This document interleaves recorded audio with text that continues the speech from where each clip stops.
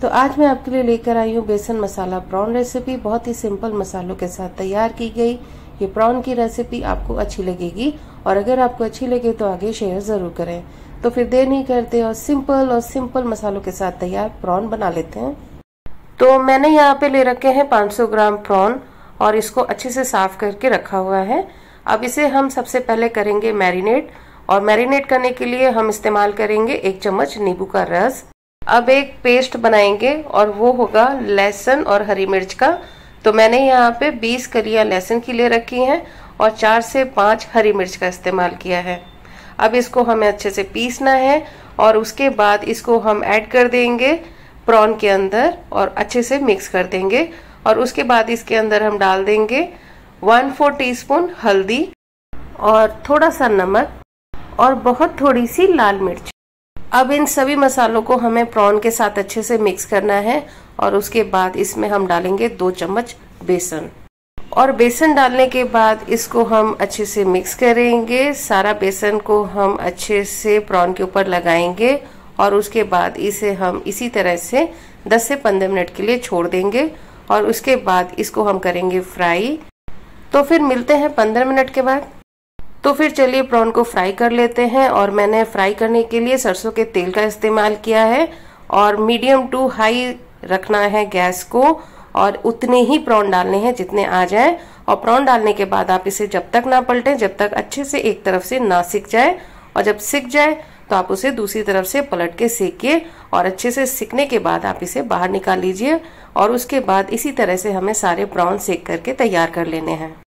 तो यहाँ पे हमारे जो प्रॉन है वो तैयार हो चुके हैं और अब चलिए इसके लिए हम एक ग्रेवी बना लेते हैं।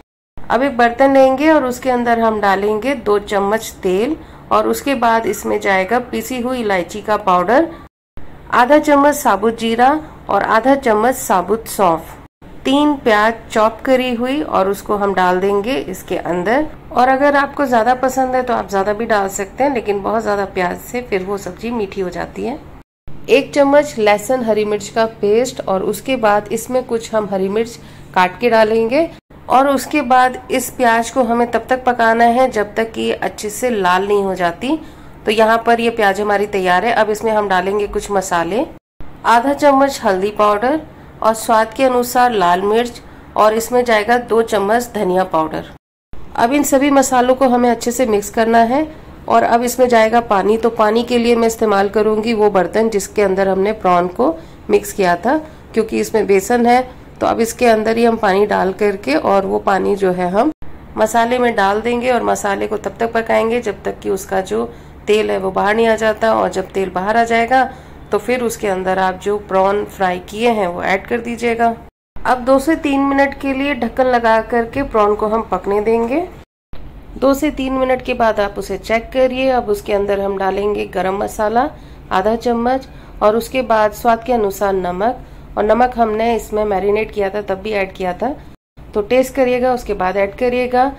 बारीक कटा हुआ हरा धनिया डालेंगे, गैस को करेंगे बंद और उसके बाद इसको हम ढक करके दो से तीन मिनट के लिए इसी तरह से छोड़ देंगे। अब आपको जब खाना हो, तब आप सर्व कर सकते हैं। तो बस यहाँ पे ये तैयार हो चुकी है और आपको जब बनाना हो, आप बना के खाएँ। बहुत स्वाद की लगती है और प्रॉन बनने में ज़्यादा समय नहीं लगता क्योंकि हमने इसे फ्राई भी किया था। तो फिर इस रेसिपी को एक बार ट्राई ज़रूर करें और अगर ये अच्छी लगे तो आगे शेयर कर दीजिएगा और अगर अच्छी ना लगे तो बता दीजिएगा। तो फिर रेसिपी मेरी, स्वाद आपका अपना, बने रहे चैनल के साथ। आपका मेरा चैनल देखने के लिए बहुत बहुत शुक्रिया।